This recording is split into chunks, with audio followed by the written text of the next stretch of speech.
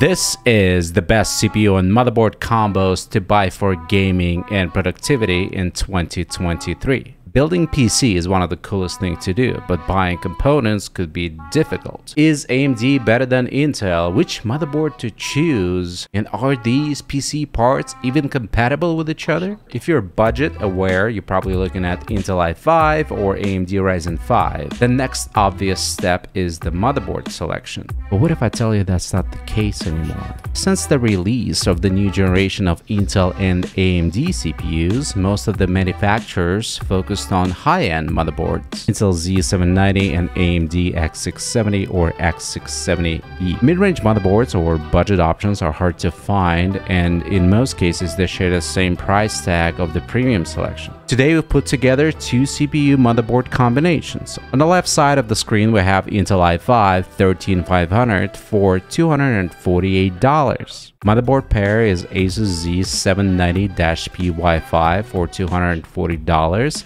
it is a solid board, we've tested it, so you want to see the video, click here. On the right side, we have Ryzen 5 7600 for 220 bucks, paired with Asus X670-P motherboard for $270. The total cost of each pair is around 500 bucks. Both of the CPUs include box coolers, so we don't have to worry about cooling solution. Intel's new 65 watt TDP cooler doesn't struggle as much as I thought it would. It keeps 100 watt chip at 87C. AMD package power is half of the Intel at 53 watts. And the cooler does its job and keep things at 88C, but probably in need of the redesign. Intel 13500 has advantage of 8 extra cores for the total of 14 compared to very lonely 6 core group on AMD side. CPU usage DaVinci Resolve Puget Bench test hovers around 40%, where it seems like Intel Xe integrated graphics does all the work.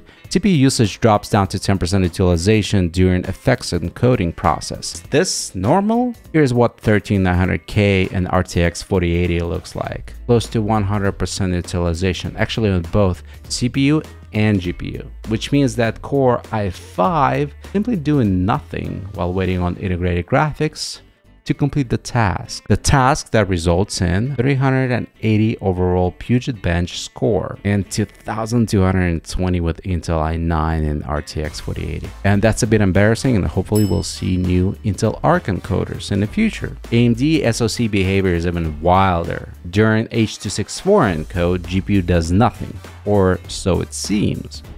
AMD does have hardware optimization for H.264, it's just not reflected in Task Manager. AMD Ryzen 5 7600 score is 400.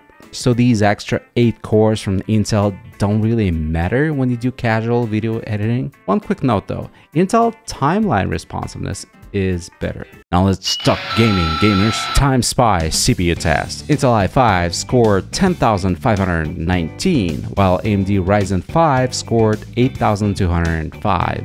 Shadow of the Tomb Raider Intel system 5224 frames, AMD Ryzen 5 1014. Rocket League tells a different story. Intel i5 has average of 85 FPS, AMD Ryzen 5 98.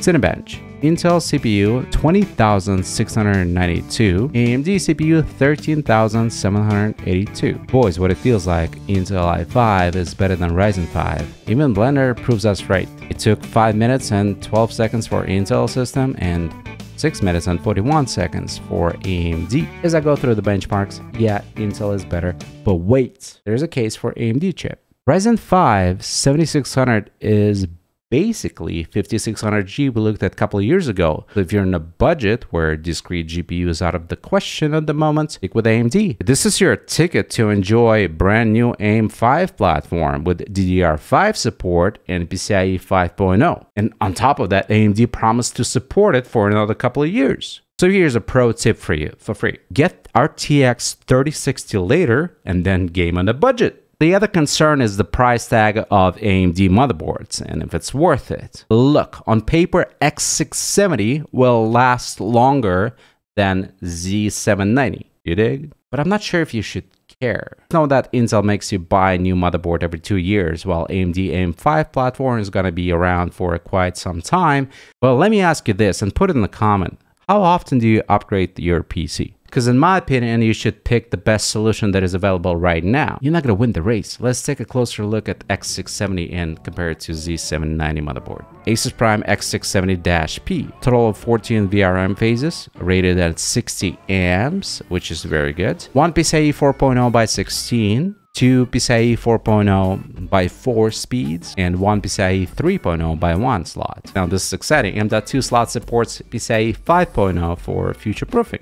And then we have two more M.2s with 4.0 speed. Connectivity is solid, USB 3.0 20 gig, three USB 10 gigs, four USB 5 gigs, and two USB 2.0s for keyboard and mouse. Asus Prime Z790-P, total of 15 VRM phases, rated at 50 amps, again very solid, one PCIe 5.0 by 16 slot, three more PCIe 4.0 by 16, and one PCIe 3.0 slot, that's two PCIe 4.0, and then two more M.2s, USB 20 gig, USB 10 gig, few USB 5 gig and 4 USB 2.0. Both of the motherboards are more than suitable to handle power consumption of any CPU from Intel or AMD lineup.